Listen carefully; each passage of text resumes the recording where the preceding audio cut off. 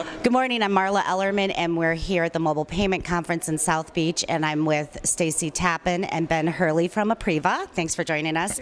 And they are going to tell us about Apriva Pay Plus today. We released the original Pay about three years ago, and since then we've um, gone after you know our partner channels. We have 900 plus ISOs and financial institutions. We focused the last um, few years on the financial institutions. So right now we have two of the top five banks in the U.S. have private labeled our Pay Plus application, um, and we have about 15 banks in the U.S. selling a branded version of our application. Um, we're getting ready to release 3.0, which Ben is going to talk about here right. shortly. We're really excited about that, and we think it's really going to set us apart from a lot of the payment applications that are out there. Great. So tell us about the 3.0. Right. So the third generation app is coming out um, at the end of the first quarter of this year. Um, essentially, it is well, it's it's a massive step for us. So we're coming out with localization, the ability to offer the the mobile client and the supplementary services, the documentation, email in any language that you need. Um, we'll be starting out with uh, Spanish and French, but then targeting other uh, you know markets. Um, the idea is is to give us the capability to expand internationally, and then uh, on top of that, we're coming out.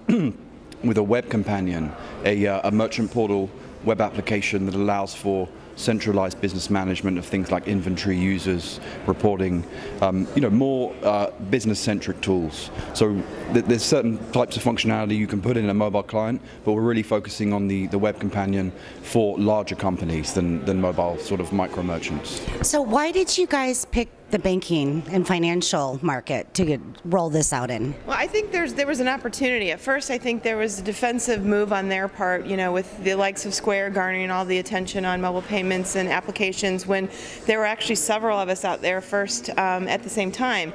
So we thought it would be a good idea to offer a white label solution so these financial institutions can go after their existing customers to create stickiness, and we've found out that was indeed the case.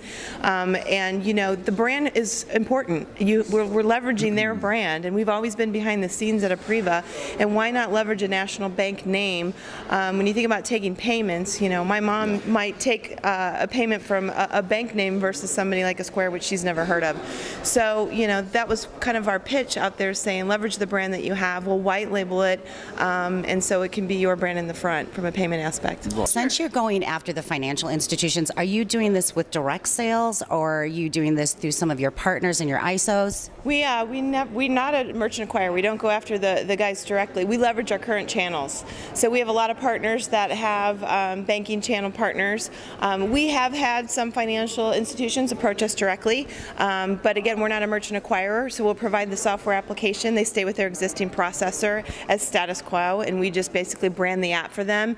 And those transactions come through the Apriva gateway. And we also provide level one support for their merchants. Right. That's great. So there was a lot of talk today and yesterday about social media. Would mm-hmm. this would this be something that you'll send out on social media, or is it too high level? Um, in terms of marketing the product or integrating with social media? Well, uh, probably marketing the product first, and but once it's out there, integrating with social media. So we we have plans for location-based uh, social media integration for merchants. Um, I, I can't provide too much information on what that means, but for people that understand check-in and proximity, um, we we definitely have plans for those types of integrations. Okay, great. Yeah. Well, and for more information, you can contact Apriva directly and see him at some of the upcoming shows. Thanks for watching. Thank you.